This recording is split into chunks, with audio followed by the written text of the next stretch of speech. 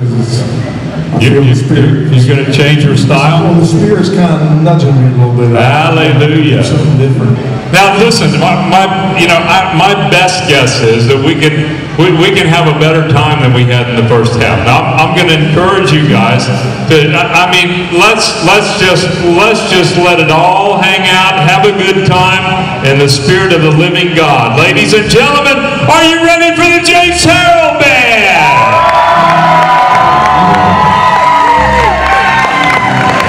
Been, uh, I'm to share a little bit here. I'm not, I can feel the preaching in the air. But, uh, yeah, we all have these hard times, we? I mean, this life is, gets tough and it gets easy. It's up and down. It's the best, the best of times and the worst of times. And, uh, lately a friend of mine was thinking I was having a bad time, so he told me I need to get 10 things that need to be put them on my- a list of wants that I need, and that took me forever to get it done, I don't have any wants until, there's only one thing that I really want, and that is I want to have a revival with Jesus Christ, and then once that revival's over, I want to have another one. And then when that revival's over, I want another one. Because once you've tasted Jesus Christ, what else can you possibly want in this world? And that's where the good stuff is. And I have a song here that I, I'm going surprise these guys with, and, uh, it's a song that I wrote to my Lord and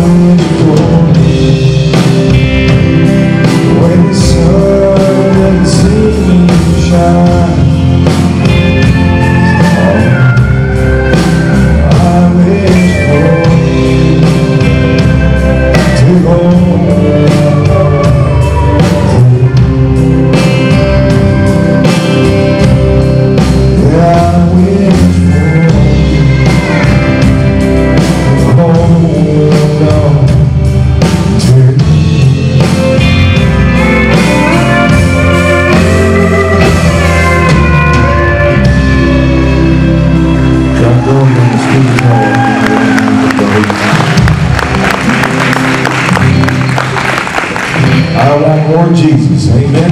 I got a song here. I didn't know what I was going to do, but I think I'm going to pull it off because uh, I converted it. It was a beer song, not a coffee song. And it's a bit of a picking song. I know some of you guys came out here to hear. Anybody want to hear some picking? Yeah. Yeah. Okay, we're going to do a little picking just for you.